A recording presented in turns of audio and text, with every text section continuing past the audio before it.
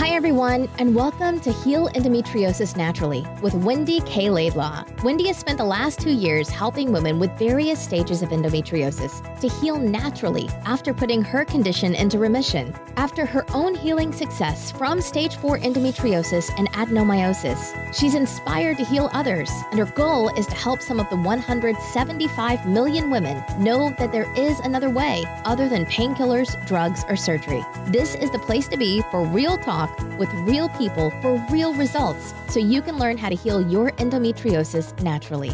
Please note that the opinions expressed in this program may represent options but are not a substitute for proper medical care. Before starting any new healthcare program, we recommend you consult with a health professional.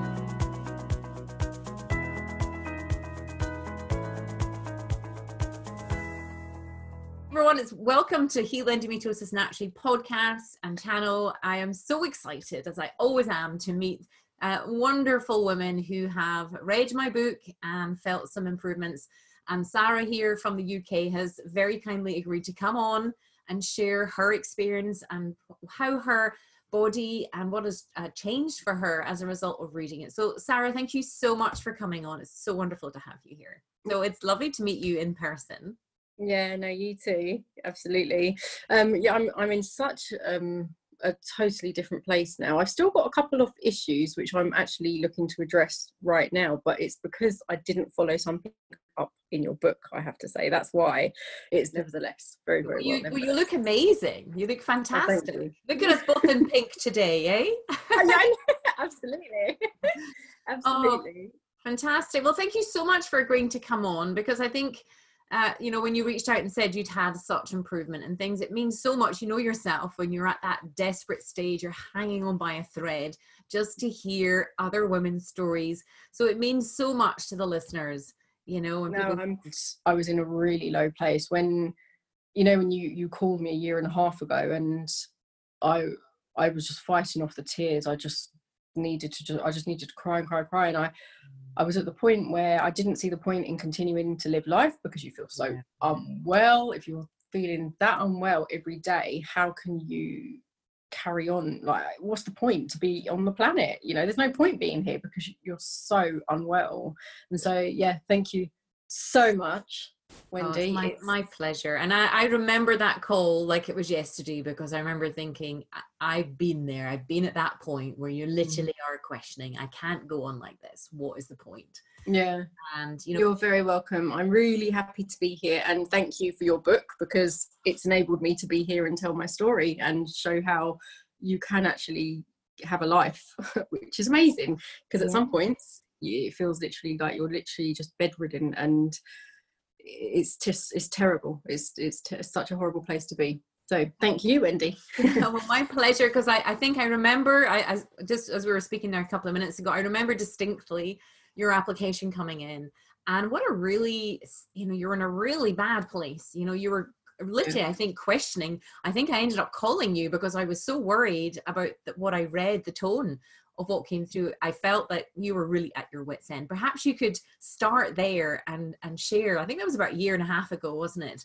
Yeah it, it was a year and a half ago. So if i um because what had started to happen again was everything that i'd suffered my whole life. Um and it went away age 24 i had a, a surgery um age 24 and i'd become quite well. And you know when you've suffered so much your whole life and then you start to feel unwell again and it, it's the scariest feeling because you just don't want that to happen. And um, I was I was at my wits end. I was in a really really bad place. Um, so, I mean, if I just start um, from my beginning, which is. I'm going to say, start from that bad place, explain it, because not only is this great therapy, but you mm. know that who, as you're describing it, I know what you're going through, and the women that are listening will understand. And I think what's very common for us is we brush over the pain mm. because we're those sort of stoic type of women anyway. We kind of go, oh, you know, we just had this and this, but actually, you know, try and describe what you've suffered because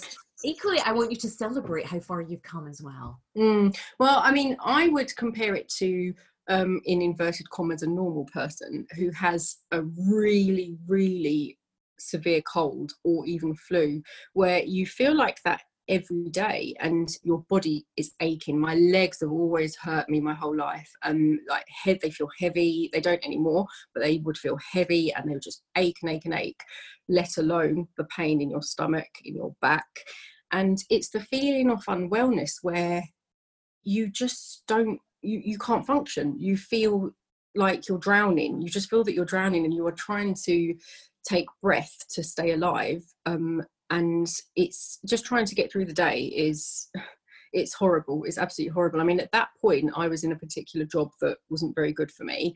I resigned from the job um, which was one of the nicest days in my life. It was so nice it was so stressful and oh the amount of work they were putting on you as well. It was just so much to take on and my stress levels were through the roof um, at that point because of the job. And um, I I mean even in, during that job I was at work and I just fainted. I started vomiting everywhere and I had two women had to take me home and I just couldn't even walk. They had to like try and lift me and I was just so unwell. And that was just the vomiting and collapsing was just felt all right because I felt so ill every day anyway but on the outside what I've always been told by everybody is, you look so well. And even at university, um, I finally got my diagnosis when I was at university, and um, I had to go for a meeting with the head of faculty, and he must have had somebody in his family who had endometriosis because he said to me, Why didn't you tell me? And I was just like, Well, I knew, I've known there's something wrong with me. I, would had, by then it was my second surgery, and I'd already had surgery age 18 where they told me there's nothing wrong with you, there's nothing there, just go and live your life. Um, and I said to him, I didn't know, I didn't have a name, I couldn't call it anything. But he said, I wish you told me because would you believe other students went and complained to the faculty about me because I was never at university and I was still allowed to do all the um, exams and I'd still do quite well and they just hated it. So they actually went and complained to head of faculty why does Sara not have to come to uh, uni but she still gets to get the degree? Well it wasn't my choice. I would have been there if I wanted if I could. I really wanted a horrible to experience to have had that. yeah I was so ill and always having to answer for why I wasn't at this that and the other and why I was so lazy it, it really is not laziness. If anything, women with endometriosis are very driven and we fight through so Hence why I've created medals. You see, this is my medal, oh. my EndoBoss alumni who come through my programs because it's in battle every day. No, it is. So, it really is. Winning the war. Gosh, mm. to have had that put upon you at university must have been awful. Mm. I mean, the fact I even got to uni was a miracle, quite frankly, because two weeks, I, I, was um, not two weeks, sorry, I was two years late to go into university because I was just in hospital constantly. I was being investigated. Obviously, I, I was in gynecology, and if I wasn't in gynecology, I was being investigated for IBS. And if it wasn't that, my knee would swell randomly. I think it was all the inflammation in the body that I couldn't even get clothes over my knee because it was my trousers couldn't even go on because it, it was so swollen. And if I wasn't there doing that, I was there for a dislocated jaw, and I now know it's through grinding my teeth severely while I slept, which mm. I don't even have canines now. I don't eat meat, and it's a good job I don't because my teeth are literally just like flat. Um, and it's mm. through so much grinding, and it's because it was quite that's okay. Um, it was just quite traumatic my childhood, unfortunately, which I think has led to all of you know the, the health the way it is um, now uh, so yeah, it's it's been a, a journey to say the least. So um, yeah, so you've had all these surgeries, but I mean, it sounds like. So what age were you when you had your first surgery? I was 18, but I'd already been in admitted to hospital when I was about um, seven years old. Nobody knew what was wrong with me. I was just always just unwell, and I was there for a few days and nights, and yeah, test after test after test, and no, you're fine, go home um, the same, you know, sort of thing that many people have suffered. Um, so I've had four surgeries, and after my first surgery, I was told, and I've read this for so many poor women on different, you know, platforms where they're in despair, and I totally understand because after my first surgery, I woke up um, and I was 18, and they said to me, "We found, we haven't found anything. There's nothing wrong with you. You ah. can go home and just carry on." And I was, I didn't want there to be a problem, but what I wanted was an answer so that I could do something about it and just be well like everybody else.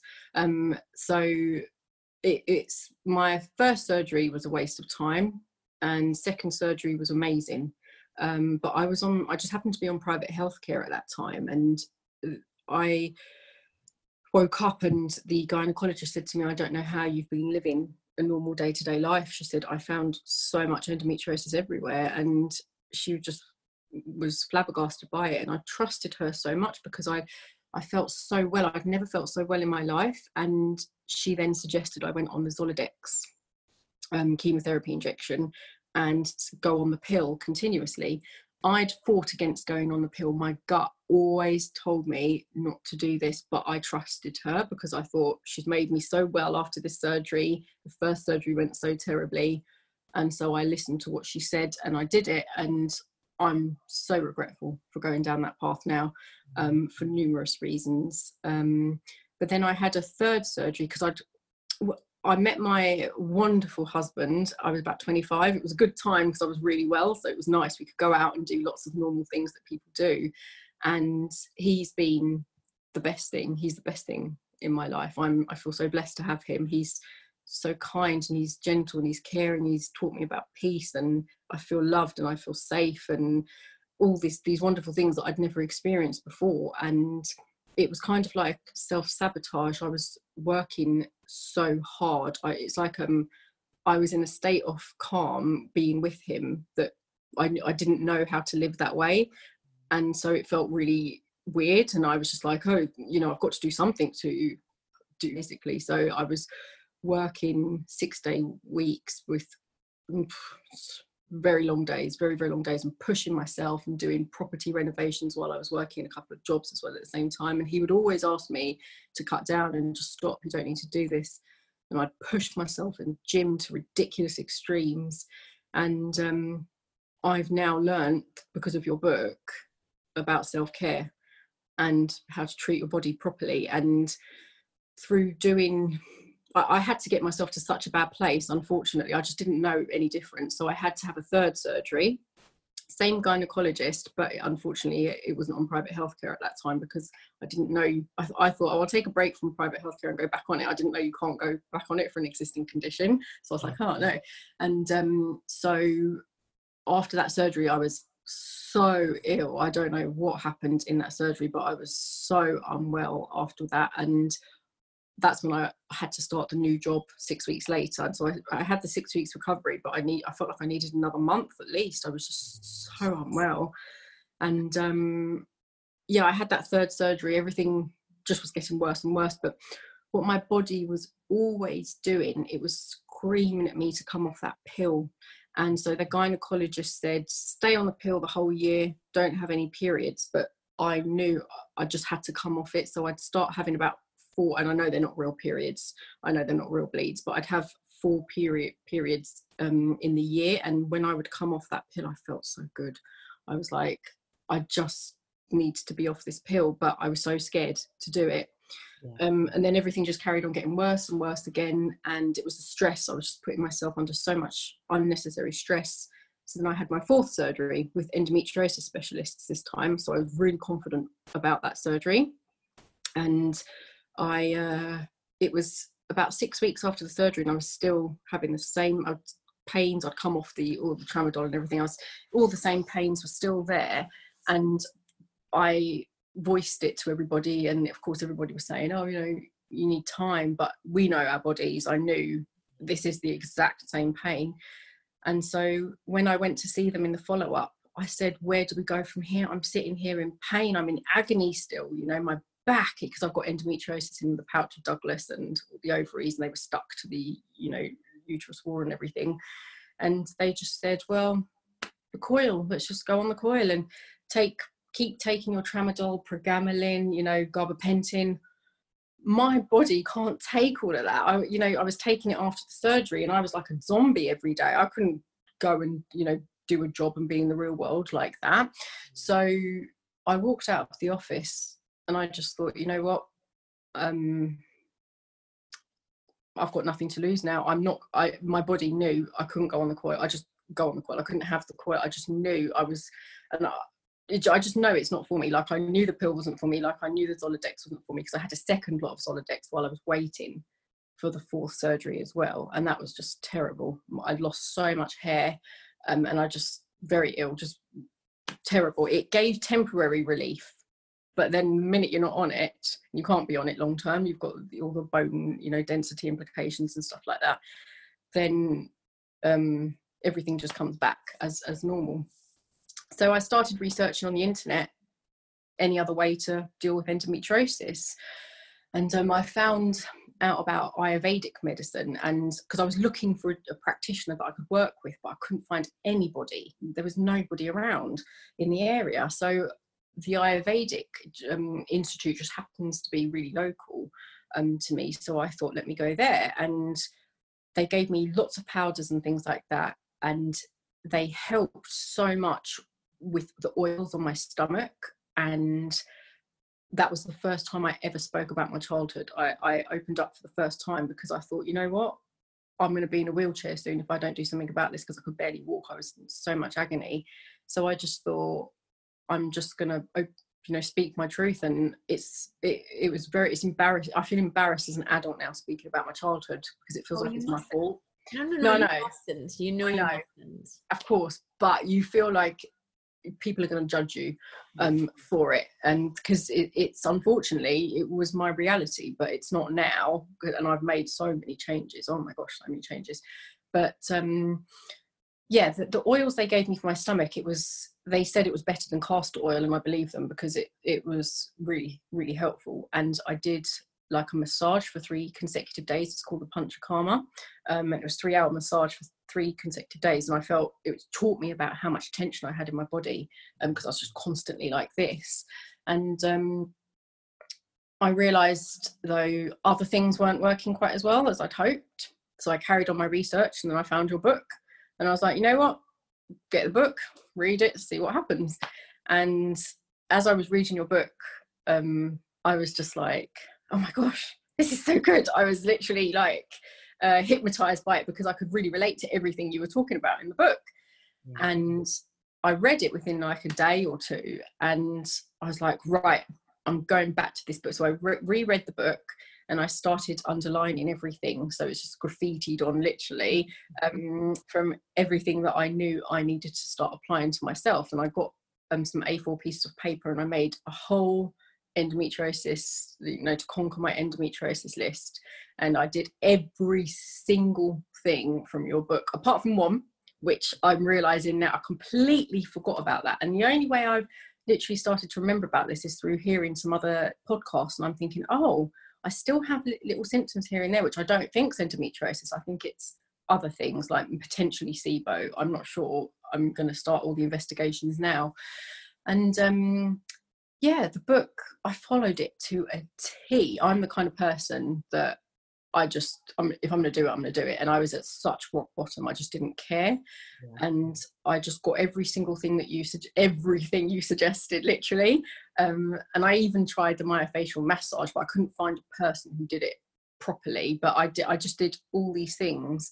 And I, um, it was just the, it was about three or four months later my husband and i took a, like a, a nice little it was a very short trip and i was so scared to do anything to, to go on this trip was the scariest thing because i know how ill i can get yeah. and so it i remember being um, in this particular country and it was like tears starting to go down my face as i was walking through it because I was like, oh my God, life is so good. Life is so nice. It can be such a beautiful thing.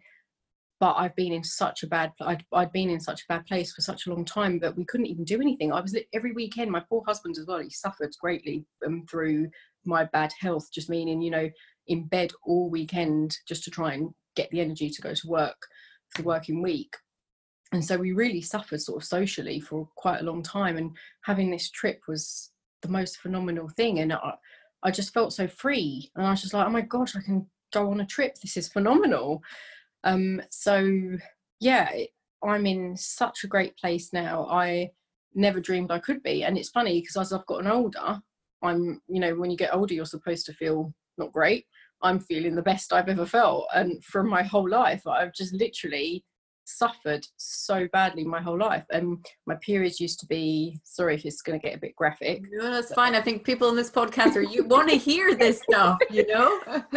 They used to be seven to ten days and within a couple of hours my sanitary towel would be saturated with blood literally from top to bottom. I'd have blood clots the size of two pound coins every single day mm. and i'd literally be in school and i could feel it all these clots coming out is disgusting. Yeah. Now my periods, because of your book, are two to three days long. Woo! They are so light. Sometimes, like um, two of the days, they're very light. One of the days, light to medium, where before they used to be medium to se- sorry, and severely heavy to uh, what I don't even know what the category would fall into. Saturation, yeah. Saturation, literally. Um, and I'm fine. Like at ovulation, I have a tiny notion that I, I know when it's ovulation. There's a, a, little bit of pain every now and then, um, but my life is phenomenal. And you know, my husband will be like, "Let's go here," and I'll be like, "Let's go," instead Fantastic. of, "I can't, I can't. I'm so sorry." So yeah, it's it's absolutely amazing. It's absolutely amazing. Um, I can't recommend it enough. You know, I wish I could turn back the clock to think that I've been cut open four times. You know, when I think about having this surgery again, if I ever had to, oh, the anxiety, just oh, it's that pain. Oh, it's just horrible. It's just horrible. I just wish that so many young girls can hear this and make a change in their life and understand that i mean i'm i'm off western medicine completely. I don't i don't go to doctor. I don't anything.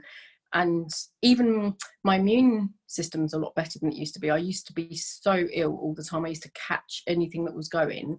And now i'm i'll get maybe i might not even get a cold in the winter. Maybe the wow. tiniest. Yeah it's amazing. Whereas before I'd be in a room, a massive room, and one person would cough, I'd have it for like two months. I'd just be so ill. I got the stomach flu every year, most of my life, um, and I haven't had it now for last couple of years. It's, it's, it's like a totally different lease of life. It's amazing.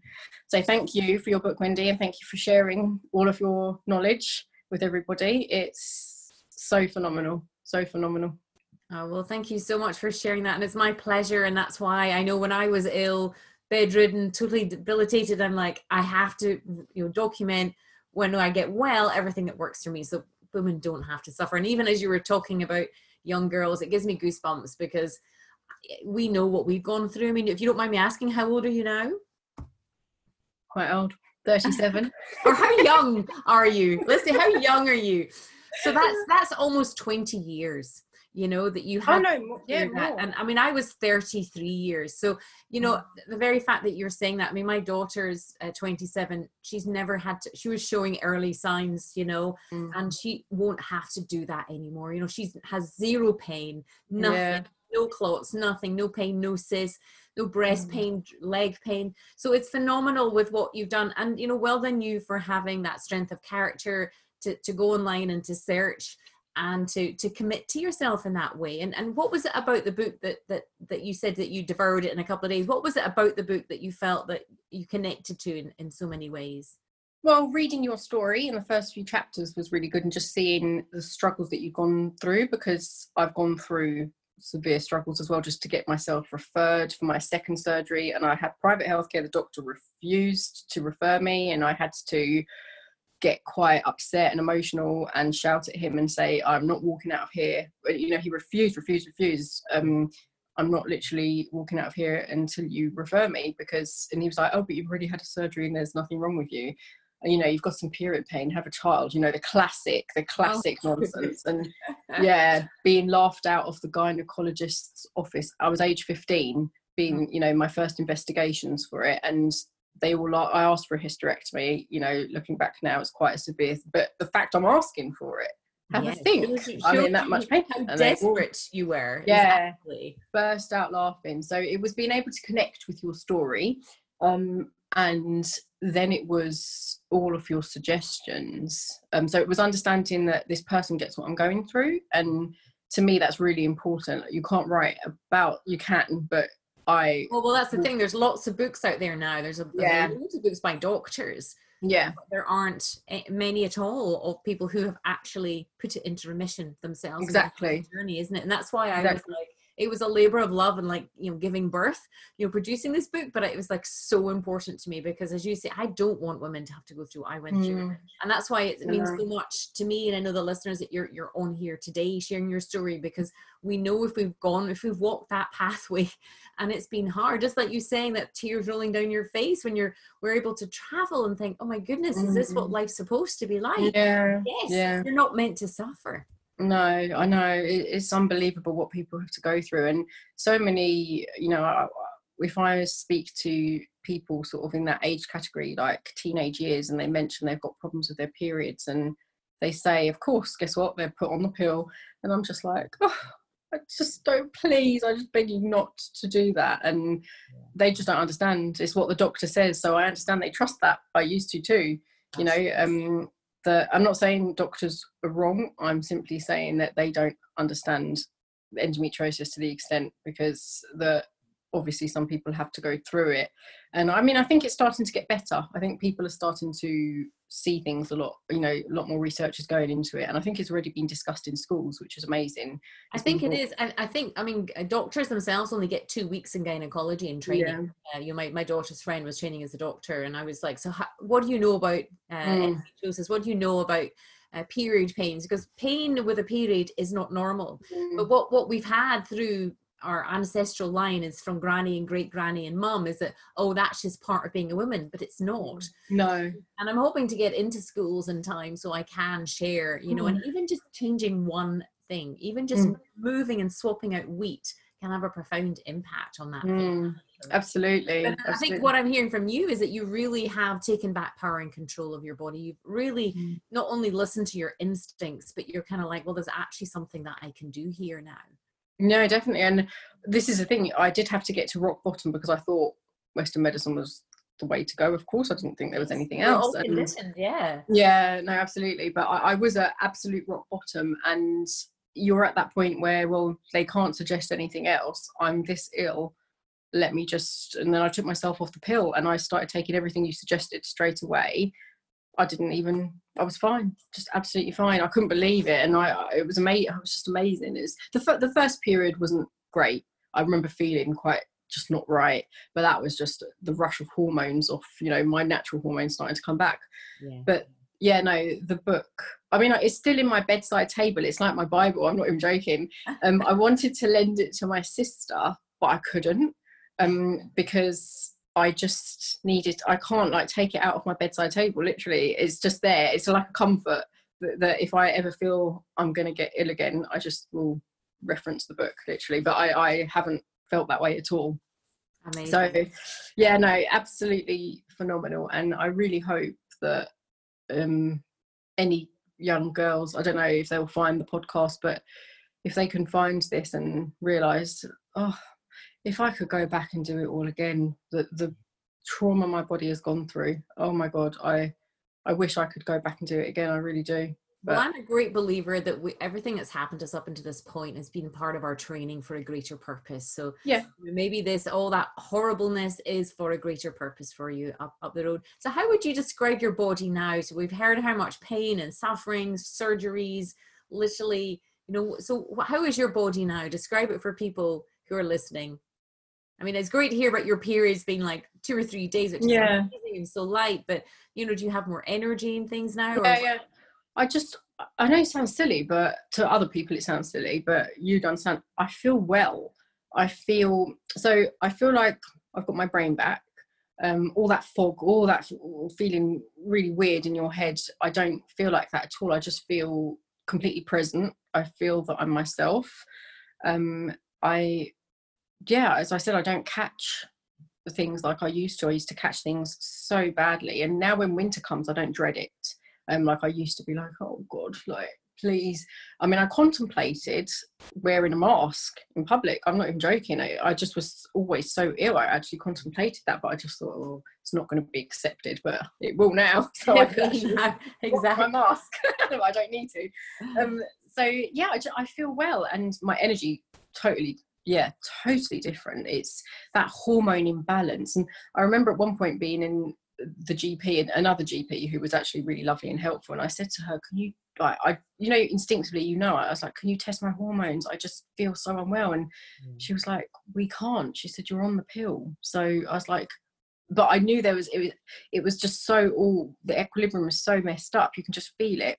So i it's so nice to just feel normal and well but even, but even to say that, I feel well. I mean, what an mm. amazing feeling, especially as any woman who's had endometriosis or has it, and you know, we, we put ours into remission. Is it's like to feel well is such a gift, it's such a joy. And people who are not, uh, you know, people who don't have endometriosis, the, the other people, they don't know what it's like to be suffering mm. for almost two decades. That you I know. But the thing is, I think um, there are lots of different. Um, I think endometriosis where if you catch it from the xeno or don't you don't catch it but if you develop it from the xenoestrogens later on in life because i know some other people with endometriosis and they're not they, they they say to me oh my god i hope i can never you know if i ever am as ill as you like they they are okay meaning they can eat quite a normal diet normal meaning gluten and dairy and all the things that everyone usually eats and they're not as ill but then there are other people like myself who were and you we were so ill and literally bedridden. So it, i think there's just levels of different levels of it. As we know it affects people differently doesn't it? And well I've, I've since since writing the book i've kind of discovered like what i refer to now as the five p's of the five poisons. You know mm. we've got produce which is food. We've got products which is you know uh, personal and household products. We've got property people and past and it's the mm. last two that when women are still having little you know little little eeks and little gremlins and and maybe a bit of lack of energy or there's just little things then normally that's when actually my next book is i'm still doing it em- embracing mm. emotions empathy and energy mm. because mm. it's those key components so some people might be okay because maybe they're you know eh, from an emotional perspective maybe everything's okay they're maybe not under stress so they're not producing as much cortisol and things like that and um, they may have not had a terrible past they may have just from foods and things having these endome- low level endometriosis symptoms you know yeah but people like yourself who've had maybe had i mean you you've touched on your your upbringing you've identified mm-hmm. it as very traumatic and and you're being very stoic again about it and you're being kind of like oh it was traumatic these things reside in your nervous system mm. And again i had a very similar upbringing. It was i didn't know it was traumatic. Yeah same. I didn't know it had that label. I just thought that was normal. Yes. I thought it was abnormal normal if you know what i mean. It was just kind of like that's just how dysfunctional our family were and that's just how life was. I didn't mm. know that it caused all this uh, upset in the nervous system and, and the midbrain, uh, reptilian brain, you know, the uh, adrenal glands. I didn't know all these things. So mm. I've since kind of, I mean, I keep going on learning because I, am at that kind of, I can't get enough knowledge now mm. because our, our bodies and our brains are just phenomenal. So maybe, I mean, if you're comfortable, don't feel that you have to, but you have touched on on mm. your um your upbringing if you feel mm. comfortable how do you feel that that manifested itself in your body as well on your journey Oh, it's just um it's funny because looking back, I mean, even just to touch on your podcasts where I have and I've not been known as a crier. I'm, you know, pr- I'm not probably it's because I know it's because to do with my past. I've been a very stone, you know, like a stone person growing. You know, people have commented to say to me, you know, are you a stone or something? Um, and that's because of our past. And I've literally over this last year and a half, there are I listened to all of your podcasts, and there have been a couple of your podcasts, and there was a particular one where you opened up about your childhood and narcissism and things like that. And I literally sat there, I cried and cried. I was literally in my house on my own. It was really funny. it's like if I if oh, someone was videoing me, they would be like, "Does she need help?"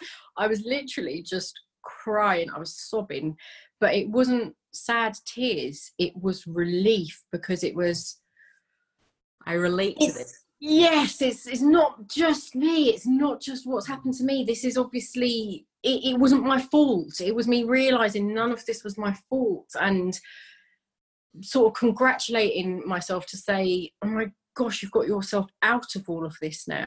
And um it, it's the most freeing thing when you've realized that the way you may be or you think that is not the best way perhaps you've changed and why you've changed it and that there is such a point behind it. And growing up i never had any idea. I mean i knew things weren't right. I knew things weren't right.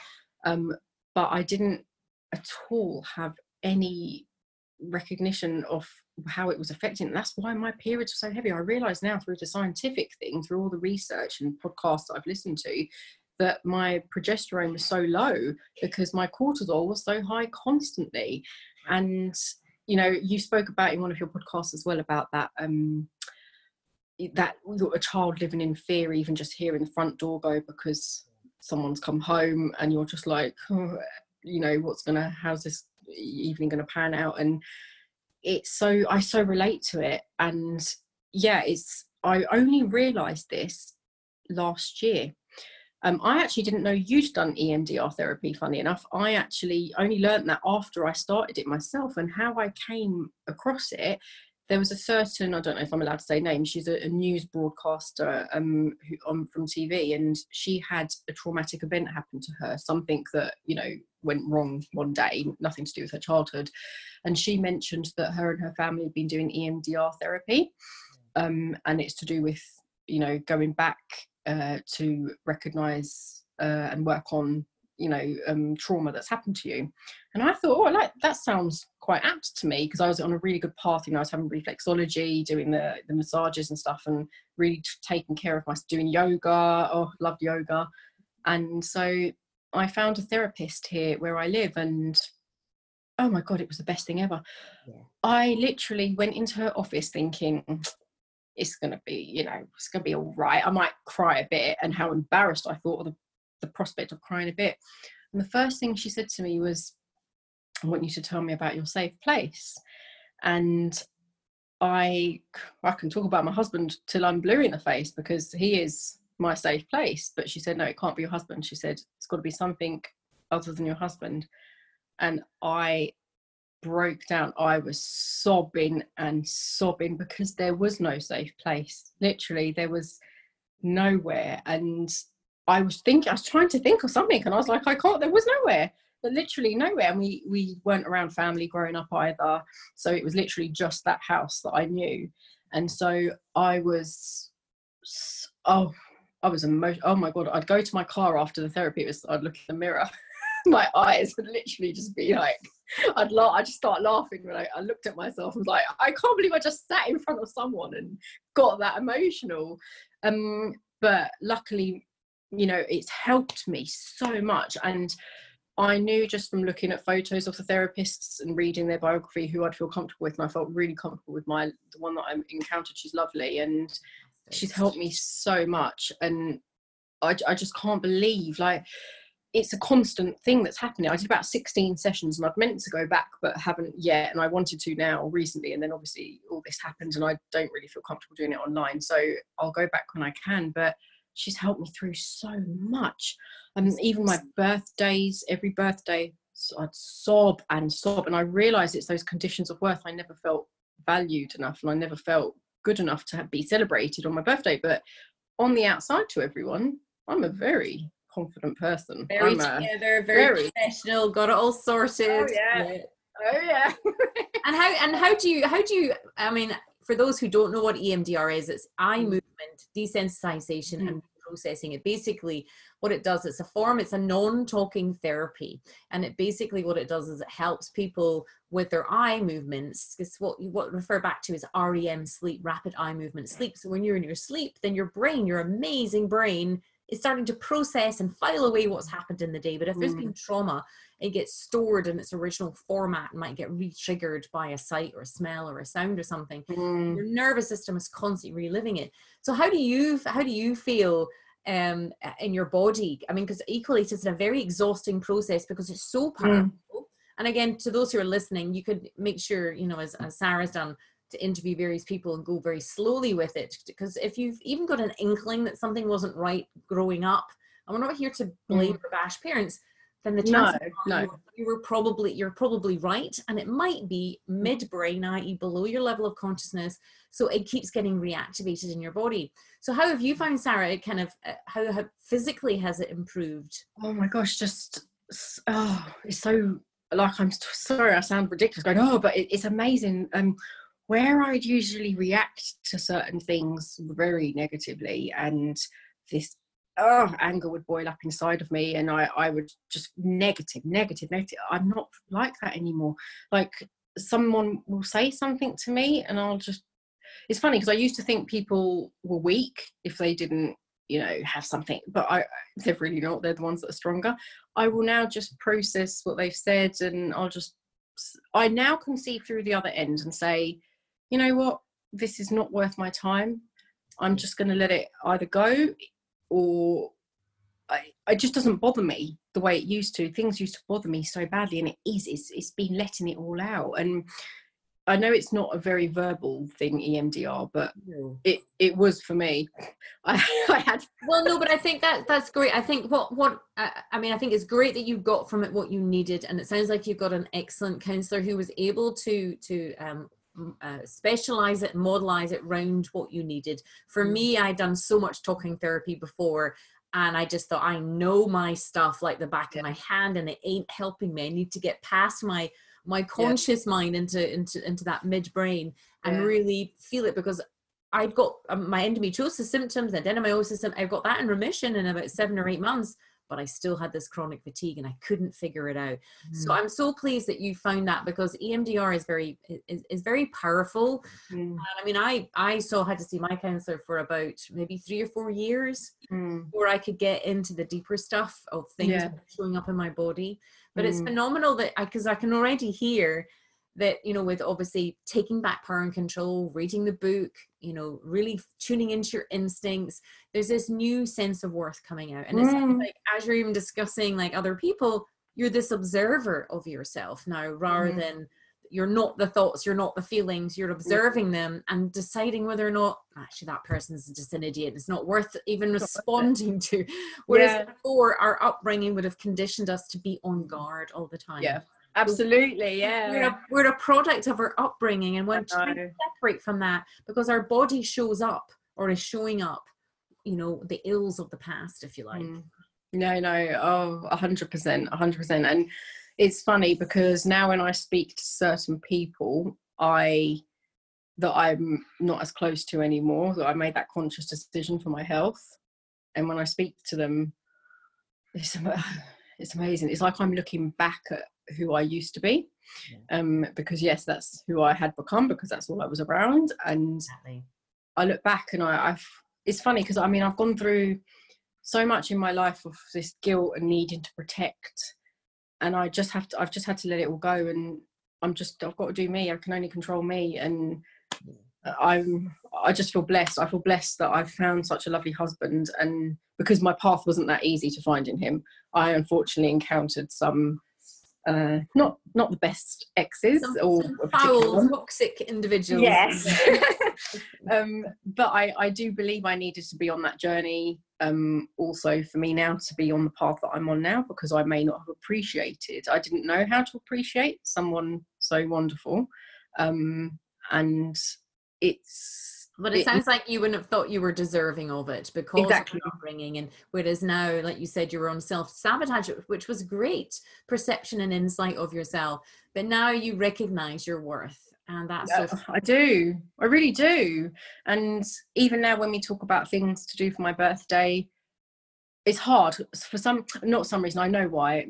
Uh, When it comes to birthdays, you know, uh, many of the occasions, whether it be Christmas, birthdays, or anything that had to be celebrated, was even worse that day growing up. Whereas every day was terrible, but those days were even worse. So I think anytime my birthday comes round, it all just calms down. Of course, matter it's your nervous system. I mean, that's, Yeah. that you're, you're conditioned. You just need to listen to, you know, but Pavlov's uh, dogs, you know, he conditioned dogs to salivate by ringing a bell. They would salivate when food was out and he would ring a bell. Then he would just remove the food. And every time a bell rang, they would salivate. That's like, Mm. that's the, the ultimate of conditioning. So no Yeah. wonder every time, even the name birthday, Yes. you know, even that word birthday, you, Yeah. you get a, a natural contraction. I mean, you said right at the Mm. beginning how you were you were tense and you know and how everything was. You, you didn't realize how tense you were until you start to mm-hmm. like. No wonder you love yoga now, because Oh, yoga's the it's best. getting oxygen into your into your lungs and it's allowing you to move in, Yeah. in actually a beautiful way with your body rather than the gym, which is like beating your body. Yeah, no, you know? definitely. I've cut. I mean, I used to do the gym three, four days a week and heavy. Now I might do it once a week and not as heavy at all. And I'll do yoga um, the other days. And it's also, um, I've been so tense in my stomach area where I think because I've been like that my whole life through the stress and anxiety that I had to really, is it the psoas muscle? I think I had to stretch through doing that. Oh, I'm so much more flexible. It's amazing. And sort of releasing all of the trauma from that area because I didn't realize, no surprises, that we hold a lot of trauma in that area, in, in the reproductive area. And Yeah. um, it make it all makes so much sense. Literally, just so much sense. yeah, it all makes it through this journey. And it was it was your book that instigated all of it. It's just Oh, fantastic. it's like these moments where you're like, oh my gosh, I get it now, I get it, and it's it's just amazing. It's it's absolutely amazing. It's, what, what would No, you say to just anyone thank- who hasn't read the book? What what would be your kind of parting words and inspirational words? Because clearly, I, you know, it make it fills up my heart so much to know that no, my journey hasn't been in vain, and that but be able to share my journey in a book and that you've been able to read it has put you on this pathway to where you are now. It Mm. just fills me up with so much joy for you. yeah. You know that it's all been worth it. So, what would be your parting inspirational words to to women if they're listening to this?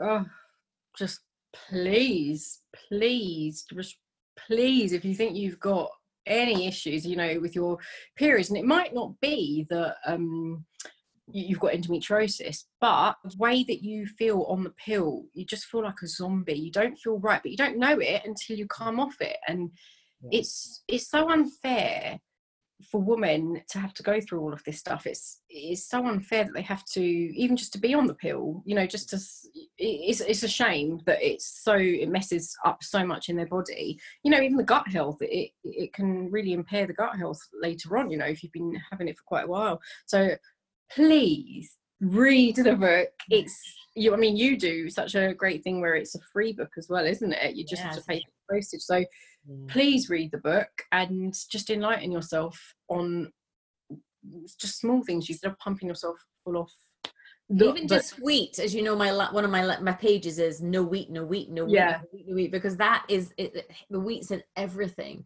and Yeah. you're talking about gut health invariably you know you mentioned all the tramadol and all the different drugs and painkillers you were on they cause havoc and Mm.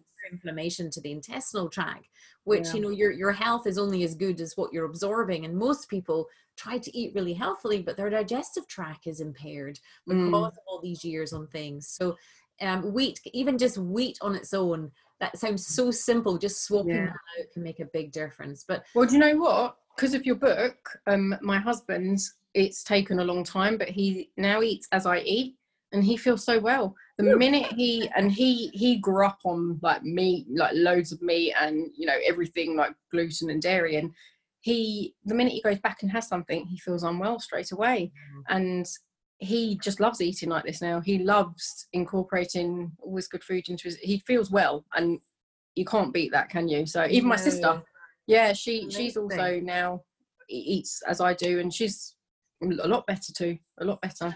So no it's it's been phenomenal and thank you so much for putting that out there because god knows where i'd be now if i hadn't uh if i hadn't come across that book and yeah and you know, but full credit to you. You've read the book, you've implemented it, and you're a living testament to what Mm. can be done. So I'm really proud of you, and thank you so much thank for you coming on and sharing your story today. Now we're going to have a chat privately in a minute, so I'm going to just sum up before I Sure. call recording button. But just to say, Sara, thank you so much again. I really appreciate it. And if you are listening to this and you've not read my book, why not? I even give it for free. So you can get a free paperback copy. Again, please note that because of the COVID crisis, some deliveries to some countries are being affected. But if um, if, if your country is affected, we'll get back to you as soon as and offer you an alternative. But you can go to healendometriosisnaturallybook.com and just pay shipping and handling. And we do ship all over the world, again, assuming that the COVID doesn't mm-hmm. interfere with that. But thank mm. you so much, Sara. I'm going to pause now. Thanks for listening to Heal Endometriosis Naturally with Wendy K. Laidlaw. And I hope you enjoyed the show. Don't forget to subscribe, like, and rate us. If you're interested in learning more, you can download your top five jumpstart tips at healendometriosisnaturally.com and jump on the VIP email list. Remember to keep you number one. The world needs a healthy you.